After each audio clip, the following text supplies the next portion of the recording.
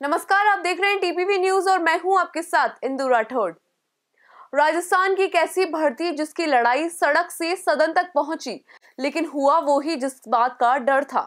लाखों अभ्यर्थियों की उम्मीदों का सपना टूटा। हज़ारों अभ्यर्थियों की परिवारजनों पर दुख का साया मंडराया।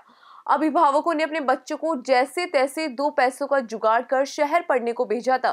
लेकिन जैसे ही पता लगा कि रीट लेवल दो परीक्षा रद्द हो गई, वैसे ही उनके सपनों के अरमानों पर पानी फिर गया। अभ्यर्थियों का धैर्य टूटता जा रहा है। लगातार राजधानी जयपुर में अभ्यर्थी लेवल दो की बहाली को लेकर धरने पर बैठे हैं। सर, मैं ये कहना चाहती हूँ कि जिस तरीके से किसी इंसान को कैंसर हो जाता है कैंसर में जहाँ ट्यूमर होती है ना तो जब डॉक्टर ऑपरेशन करता है ना तो उस ट्यूमर का ऑपरेशन करता है। उस आदमी को जहर दे के मारता नहीं है। तो उसी तरीके से वो जो ट्यूमर जो है ना, जिन्होंने पेपर लिया है है ना, वो एक कैंसर की ट्यूमर की तरह है। तो आप उनको निकालो ना, उनके चक्कर में सोलह हज़ार पाँच सौ लोगों की बलि क्यों चढ़ा रहे हो आप? आप में अगर सक्षम हो ना, आप बोलते हो, पुलिस वाले, एसओजी वाले, ऐसे लोग हैं जो बाल की खाल निकाल लेते हैं।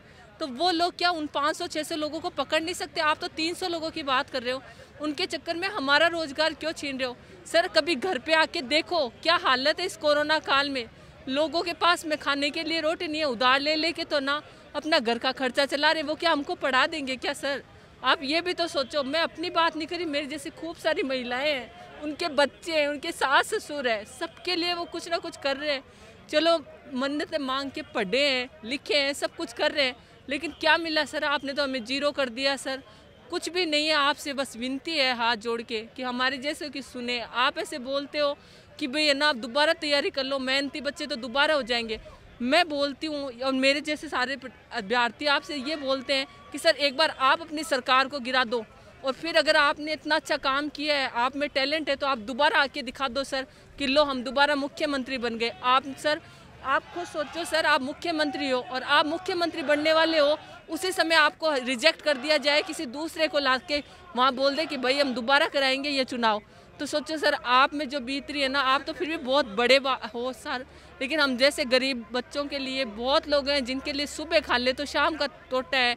बच्चों के ये हालत है माँ बाप लोन लेके बैठे हैं कि भाई हमारा बच्चा नौकरी लगेगा तो वो हमारा लोन चुकाएगा, हमारी बेटियों की शादी करेगा, बहन की शादी करेगा, वो करेगा। सब आपने सर दरा का दरा कर दिया। सर, अगर कहीं पे ना सुसाइड करे ना तो सुसाइड कर सकते हैं, पर बाल बच्चे वाले हैं, सर, वो काम कर नहीं सकते। पर आपने छोड़ा है ना, हमें ज़िंदा ना लाश बना के छोड़ा है, सर। तो आपसे हाथ जोड़ के विनती है हमारी। कि प्लीज़ सर इसको बहाल कर दीजिए सर हमारे मुँह का निवाला मच्छी नहीं है सर बस मैं तो यही कहना चाहती हूँ। आप बोलते हो कि सर और तैयारी कर लो। सर अब हिम्मत नहीं है सर इससे अच्छा तो आप ना, इस रद्द के साथ में ना पॉइजन भी दे देते सबको तो हम वो भी ले लेते सर पर अब हिम्मत नहीं है सर मैं तो इतना ही कहना चाहती हूँ। मेरा नाम मनीषा कुमावत है। साइंस मैथ्स की स्टूडेंट हूँ और 135 मैंने स्कोर किया है। फ़िलहाल के लिए इतना ही। तब तक के लिए देखते रहें टीपीवी न्यूज़